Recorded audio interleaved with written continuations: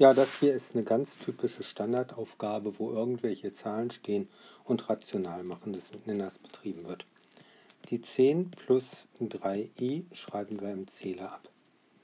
Im Nenner ist es vorteilhaft, noch die 2 auszuklammern. Nötig ist es nicht. Die Zahlen hier bleiben auch so klein.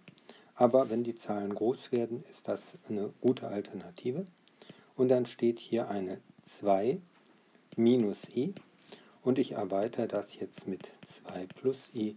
Das ist konjugiert erweitert. So, was passiert jetzt im Zähler? Da habe ich erstmal stehen, 10 mal 2 sind 20. Dann stehen da plus 10i.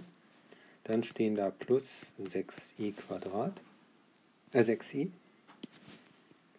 3i mal 2. Und dann steht da plus 3i Quadrat. So, und was steht im Nenner? Da steht zweimal x plus y und das ist 4 plus 1.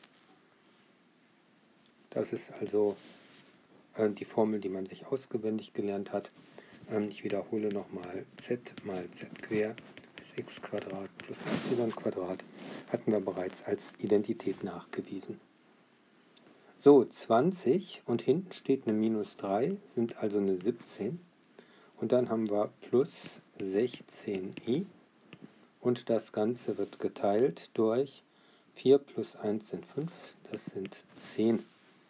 Und damit haben wir 1,7 plus 1,6i.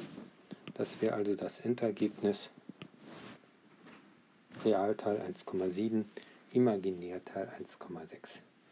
Also nochmal ähm, zusammengefasst, im Nenner die 2 ausgeklammert, einmal konjugiert erweitert, dann ähm, die äh, Definition z mal z quer ist x plus y im Nenner angewendet, im Zähler jedes Glied der einen Klammer mit jedem Glied der anderen Klammer multipliziert.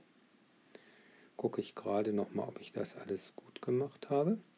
I gleich minus 1 ausgenutzt und die Zahlen, imaginären und reellen Zahlen zusammengefasst. Ja, das ist eigentlich alles, was da zu berücksichtigen ist.